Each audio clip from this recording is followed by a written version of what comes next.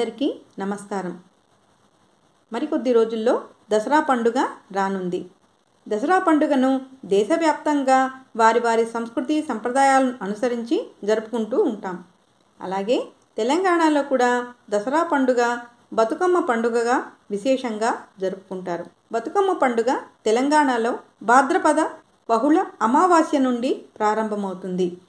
తొమ్మిది రోజుల పాటు జరిగేటువంటి ఈ పండుగ తెలంగాణకు మాత్రమే ప్రత్యేకం. ఈ బతుకమ్మ పండుగ తెలంగాణ సంస్కృతి సంప్రదాయాలకు ప్రతీకగా నిలుస్తుంది. బతుకమ్మ పండుగను ఎలా చేస్తారు? ఏ ఏ రోజు ఏ ఏ పేరుతోటి అమ్మవారిని కొలుస్తారు? ఇప్పుడు మనం తెలుసుకుందాం. బతుకమ్మ పండుగ రోజులలో మహిళలు అమ్మాయిలు రంగురంగుల పూలను త్రికోణాకారంలో పేర్చి అలంకరించి ఆ బతుకమ్మల చుట్టూ చప్పట్లు చరుస్తూ పాటలు పాడుతూ వలయంగా తిరుగుతూ బతుకమ్మ పాటలు పాడుకుంటూ ఎంతో వేడుకగా సందడి చేస్తారు. ఈ బతుకమ్మ సంబరాలు తొమ్మిది రోజుల పాటు తెలంగాణలో అంగరంగ వైభవంగా జరుగుతాయి. మొదటి రోజు ఎంగిలిపూల బతుకమ్మగా అమ్మవారిని కొలుస్తారు. మహాలయ అమావాస్య రోజున జరిగేటువంటి ఈ ఎంగిలిపూల బతుకమ్మ మొదటి రోజు వేడుకగా మొదలవుతుంది. ఈరోజు నువ్వులు బియ్యం పిండి నూకలు కలిపి నైవేద్యం చేసి బతుకమ్మకు నివేదిస్తారు. రెండవ రోజు అటుకుల బతుకమ్మ. ఆశ్వయుజ శుద్ధ పాఠ్యమినాడు అటుకుల బతుకమ్మ వేడుక మొదలవుతుంది. ఈరోజు సప్పిడి పప్పు బెల్లం అటుకులతో నైవేద్యం తయారు చేసి అమ్మవారికి సమర్పిస్తారు. మూడవ రోజు ముద్దపప్పు బతుకమ్మ. మూడవ రోజు ముద్దపప్పు బతుకమ్మగా అమ్మవారిని పూజిస్తారు. ఈ రోజున ముద్దపప్పు పాలు బెల్లంతో నైవేద్యం తయారు చేసి బతుకమ్మకు సమర్పిస్తారు. నాలుగవ రోజు నానే బియ్యం బతుకమ్మగా అమ్మవారిని పూజిస్తారు. ఈరోజు నానేసిన బియ్యం పాలు బెల్లం కలిపి నైవేద్యం తయారు చేసి బతుకమ్మకు సమర్పిస్తారు. ఐదవ రోజు అట్ల బతుకమ్మగా అమ్మవారిని పూజిస్తారు. ఈరోజు బతుకమ్మకు అట్లు లేదా దోశలు నైవేద్యంగా సమర్పిస్తారు.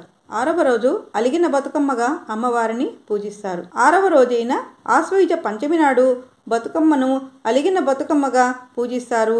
ఈరోజు అమ్మవారు అలిగి ఉంటారని ఏమీ తినరని అందుకే ఈ రోజున ఎలాంటి నైవేద్యాన్ని సమర్పించరు. ఏడవ రోజు వేపకాయల బతుకమ్మగా అమ్మవారిని పూజిస్తారు.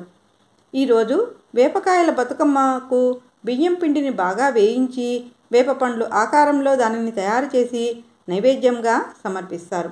ఎనిమిదవ రోజు వెన్న ముద్దల బతుకమ్మగా అమ్మవారిని పూజిస్తారు. ఈ రోజున నువ్వులు వెన్న లేదా నెయ్యి బెల్లం కలిపి నైవేద్యం తయారు చేసి బతుకమ్మకు నివేదిస్తారు. తొమ్మిదవ రోజు సద్దుల బతుకమ్మ. తొమ్మిదవ రోజు సద్దుల బతుకమ్మగా అమ్మవారిని పూజిస్తారు. ఆశ్వైజు శుద్ధ అష్టమి నాడు అంటే దుర్గాష్టమి మహాపర్వదినం రోజున బతుకమ్మకు ఐదు రకాల నైవేద్యాలను తయారు చేస్తారు. అవేమిటంటే పెరుగన్నం చింతపండు పులిహోర నిమ్మకాయ పులిహోర కొబ్బరన్నం నువ్వులన్నం తదితర నైవేద్యాలను వారి వారి శక్త్యానుసారం తయారు చేసి సద్దుల బతుకమ్మకు నైవేద్యంగా సమర్పిస్తారు. ఇక తెలంగాణలో బతుకమ్మ సంబరాలు ఎలా జరుగుతాయో తెలుసుకుందామా? బతుకమ్మ సంబరాలలో తెలంగాణ ఆడపడుచులందరూ అత్తవారింటి నుంచి పుట్టింటికి చేరుకొని ఈ పూల పండుగ సంబరాలను ఘనంగా జరుపుకుంటారు.